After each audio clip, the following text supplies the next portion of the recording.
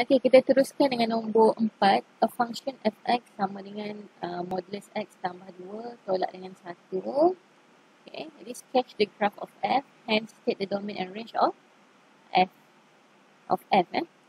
Okay, so kita akan mulakan um, dengan sketching graph. Okay, so function fx ni adalah function absolute value.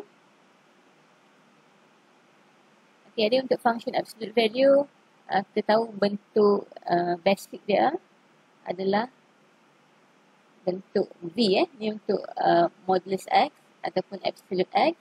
Okay, ini untuk negative absolute X. Okay, jadi sekarang ni kita kena cari koordinat bagi uh, bucu dia, eh, vertex dia. Okay, caranya kita ambil X tambah 2 samakan dengan kosong. Jadi X sama dengan negatif 2 eh. Okey, jadi koordinat bucu dia adalah negatif 2 dan juga belakang ni iaitu negatif 1. Okey, so kita boleh uh, tandakan okay, negatif 2 dengan negatif 1. Eh. So bucu dia di sini. Okey, kemudian um, dia adalah positif absolute. Jadi bentuk dia adalah bentuk V. Okey, cuma kita kena tahu eh. Kita nak tarik tu sama ada ke sini ke sini ke eh. Jadi kita kena tahu dia punya intercept terlebih dahulu eh, x intercept. Okey, jadi saya akan cari uh, x intercept bagi graf ni. Jadi x intercept uh, y sama dengan kosong. Jadi modulus x tambah 2 tolak 1 sama dengan kosong. Modulus x tambah 2 sama dengan 1. Jadi x tambah 2 sama dengan 1 X tambah 2 sama dengan negatif 1. Jadi X sama dengan negatif 1. X sama dengan negatif 3.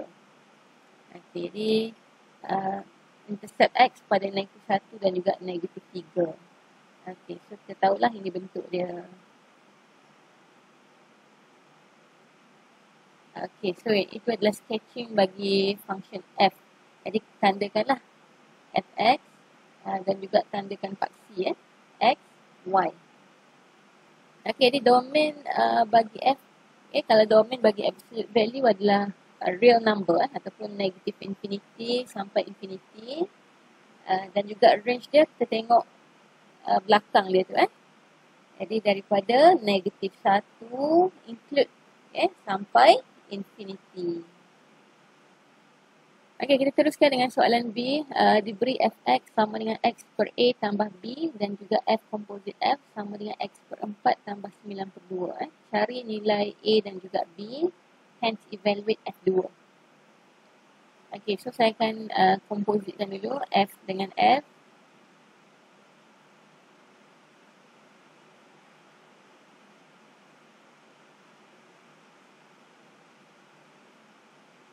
Okey, so kita dah tahu dia sama dengan X per 4 tambah dengan 9 per 2.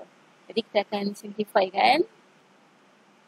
Okey, uh, saya akan samakan penyebut dahulu yang sebelah sini. So kita akan dapat X tambah dengan AB per dengan A per dengan A eh, tambah dengan uh, B equals to X tambah 4 tambah dengan 9 per 2. Okey, so kita akan dapat X tambah dengan AB per dengan A kuasa 2. Eh. So, ni boleh turunkan ke bawah. Okey, tambah dengan, saya akan samakan penyebut. Jadi, kita akan dapat A kuasa 2B per dengan A kuasa 2 juga. Sama dengan X per 4 tambah dengan uh, 9 per 2.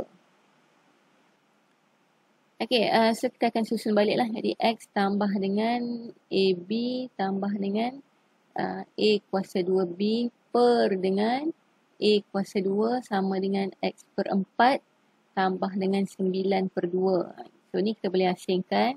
Jadi X per A kuasa 2 tambah dengan AB tambah A kuasa 2B per dengan A kuasa 2 sama dengan X per 4 tambah dengan 9 per 2. Okay, kemudian kita akan compare. Okay, jadi X per dengan A kuasa 2 adalah sama dengan X per 4. Jadi A kuasa 2 sama dengan 4 lah. Jadi A sama dengan 2 ataupun A sama dengan negatif 2. Okey, itu yang pertama eh. Okey, kemudian yang kedua kita boleh comparekan uh, AB tambah A kuasa 2B per dengan A kuasa 2 sama dengan 9 per 2. Okey, uh, tapi untuk nilai A tadi dah diberitahu dalam soalan uh, A dengan B are positif eh. Jadi kita akan reject lah. A negatif 2 kita akan reject. Jadi kita akan ambil A sama dengan 2 je eh. Kita akan gantikan di sini. Jadi kita akan dapat 2B tambah dengan 4B per dengan 4 sama dengan 9 per 2. Jadi 6B uh, per 4 sama dengan 9 per 2. Okay, nanti kita akan dapat nilai B sama dengan 3. Okay, yang juga adalah positif. Eh. Okay, soalan seterusnya um, kita perlu cari F2. Okay, jadi nilai A dengan B dah ada. Okay, jadi sekarang ni kita punya Fx. Okay, Fx kita sama dengan X per 2 tambah dengan 3. Jadi kalau kita nak F2, Okay, 2 per 2 tambah dengan 3, eh, which is equals to 4. Okay, so this is the answer.